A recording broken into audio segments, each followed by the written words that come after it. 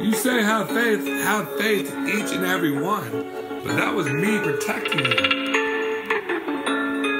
And if you're gonna do that, you're gonna have to start from the very beginning. Hey, dude, he sent the firefighters too, man. You gotta let go and let God. Let go and let God. Hey, I really do let go and let God. This is a motivation speak spoken. This to be a speaker to myself. I had nothing else to do. But like in five minutes, if I can look back at this video, I'll be like, hey, this should be on YouTube. This is pretty live. But we're going through situations and anointings are getting no overrated. So if they get to the extreme, you can say, hey, let go and let God. Let go and let God.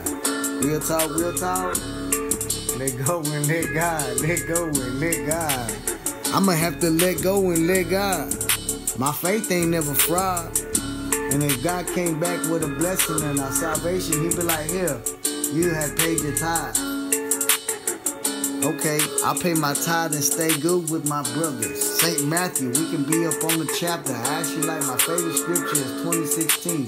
The last will be first, and the first will be last. Many are called, but few are chosen, if I'm not mistaken. Okay, thank you for this time and space.